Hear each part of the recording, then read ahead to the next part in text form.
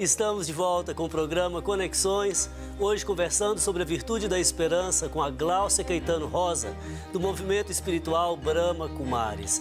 Então, Gláucia, vamos começar falando de esperança e ilusão. Olhando na rede mundial de computadores, há muitas pessoas que acham que a esperança é mera ilusão. Uhum. Ou seja, a ilusão é um jogo de fora para dentro uhum. é, que tira o meu chão e não me dá a realidade. Uhum. Já a esperança, você diz, é construção do futuro. Uhum. Qual que é essa distinção que a gente poderia fazer entre ilusão e esperança? É talvez o imediatismo né, da, da sociedade atual, uma cultura de querer tudo rápido e fácil, sem o processo do empenho. Talvez essa mágica da internet que possa transparecer vidas que não sejam reais e as pessoas acabam obtendo isso como meta é, e, e, e pensando que essa é a vida perfeita. Então, eu acredito que a gente distorce a, a, a, a, ilusão, a esperança, uhum. é, quando esse cenário nos distancia das nossas próprias experiências. Né? Então, uh, o que faz com que a esperança seja algo mais real é que pautado no meu contato comigo mesmo e aí sim, tendo definido para mim de acordo com a minha essência, o meu propósito com a minha vida, eu consigo ter a vida mais nas palmas das mãos, né? Um uhum. autocontrole maior. Então, eu acredito que, que a ilusão e a esperança têm esse paradoxo devido a esse cenário uhum. hipermoderno. Agora, qual que é o tempo da esperança? Você disse que ela me lança para o futuro, né? Uhum. O tempo e o futuro é uma astronave que tentamos pilotar. o tempo da esperança, numa resposta rápida, para mim é o tempo da paciência. Uhum. Né? É, mas não é uma paciência de, de, é uma paciência ilimitada. Então tem, tem que vir junto com a capacidade da tolerância que tem muito a ver com o poder do amor. Uhum. Né? Então a tolerância não é eu estou te tolerando, né? Eu estou te tolerando até que não dei conta e explodir. Isso não é tolerância, não, não. né? A tolerância é uma mãe de verdade. Com certeza. Que, né? que a forma como o filho esteja, ela vai amar aquele Isso, filho, perfeito. Né? Então, paciência, tolerância e resiliência uhum. é o tempo da esperança. Tá. Né? Então, por aí se vê que é uma luta do dia a dia. Ou um empenho. Um empenho, ok, tá certo. Um Bom, empenho. nesse sentido, a Fátima Silva diz o seguinte: não confunda ilusão com esperança. Ilusão é acreditar que a vida pode acontecer sem sofrimento. Uhum. Esperança é lutar para diminuir o sofrimento. Uhum. A esperança coloca em pé para fazer caminhar. Uhum. Você quer comentar, Glaucia? É justamente isso. Não é uma não é uma luta no sentido de labuta, né? Talvez é uma luta no sentido de um desafio que uhum. aguça a mente, que aguça as suas capacidades. Que provoca crescimento. Que provoca crescimento, que, aliás, para Aristóteles é a definição de felicidade, quando você ultrapassa os seus limites, né? Então, é um empenho é um desafio. Né? Uhum. Né? É só mesmo trocar a luta. O Zezinho tem uma música muito bonita, me lembro aqui agora caminhar contra toda esperança, caminhar como quem não se cansa.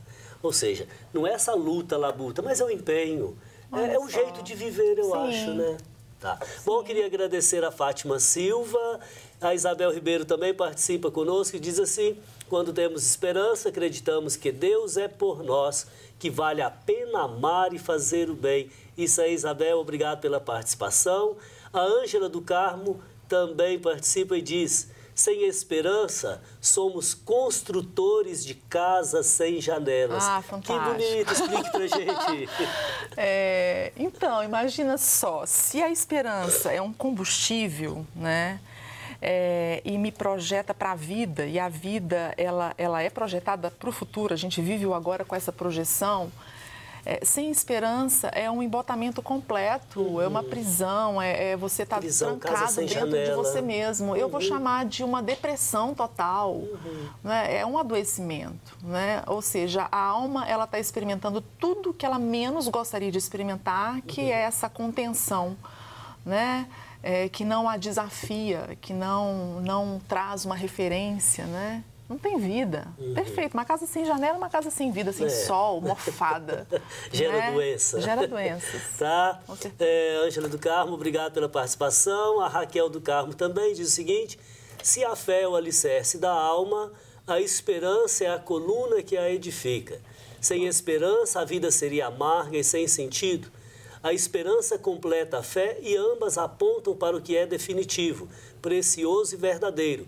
É na esperança que fomos salvos, diz São Paulo aos Romanos. É isso. Tá. O alicerce, aquilo que eu comentei da coluna de aço, né? A, é, que estrutura, a questão da fé e o alicerce da alma que, que dá ânimo, que energiza a alma, uhum. né? É a, a, esperança. Bom, então nesse sentido eu posso dizer que a esperança abre para nós o horizonte da transcendência. Sim, nos tira desse lugar imediato que estamos tendo agora, tão sem limite, tão sem soluções, né? Com tantas crises, né? Crises perto, crises daqui a dois oceanos, crises em tudo quanto é lugar. E nos faz é, colocar um foco dando um pulo em cima dessa situação e visualizando essa, essa, essa nova sociedade. Uhum. Né? É, na verdade, esse pulo é só para a gente entender que, que uma sociedade boa, ela existe sim, ela tem que ser praticada. Uhum. Né? Ela tem que ser praticada para filtrar o que está acontecendo hoje uhum. e então ela, ela, ela emergir. Agora, nesse sentido, então, você fala da sociedade, é, da realidade como um todo. Uhum. Então, eu poderia dizer que a esperança tem também a sua dimensão comunitária? Pois então, é, é o que a gente estava comentando, né? É, eu não consigo enxergar como algo é, que todos consigam praticar juntos. Okay porque a felicidade, né, que é o que eu estava comentando, ela tá para todo mundo, é direito de todo ser humano, mas não é todo ser humano que se empenha. E uhum. é preciso, como a gente costuma falar lá na Brahma Kumaris, para mim beber uma água e saciar uma sede, eu tenho que esticar o braço. Uhum. Pra, eu tenho que fazer um empenho mínimo, né? E é o nosso livre-arbítrio. Uhum. Né? É o que nós temos como escolha, como possibilidades, porque é o respeito né, que, que as leis divinas, que Deus, né, que, que, a, que a situação da vida como ela é, nos dá de presente uhum. o nosso livre-arbítrio. Agora, para o nosso dia a dia, o que, que você sugere para uma pessoa é, cultivar a esperança?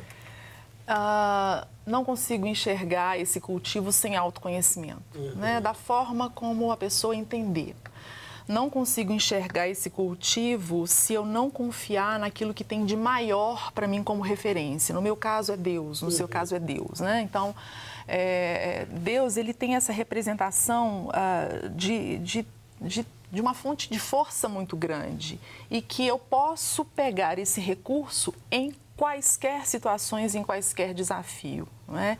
em quaisquer uhum. situações. Uhum. Então, se eu não confio nessa fonte e fico com o meu, com meu intelecto, com a mente misturada de pensamento e o intelecto duvidoso para mim mesmo, que uhum. eu fico dependendo das pessoas para me aprovarem, para falarem se eu estou bonito, para falarem se eu estou fazendo certo, né? Uhum. Então, eu vou confiar em quem? É verdade. Eu vou. Que esperança que é essa? É. Vai confiar no Rivotril. Ou na Ritalina. Não sei. Tá certo, ou seja, então, a, a, esperança me abre o horizonte da transcendência. Ela me coloca diante dessa fonte que é o próprio Deus. Sim. O sentido da vida. Ora, então é possível no dia a dia, a partir da minha, do, desse mergulho interior. Desse do... contato, desse relacionamento. É criar tá. uma experiência. Uhum.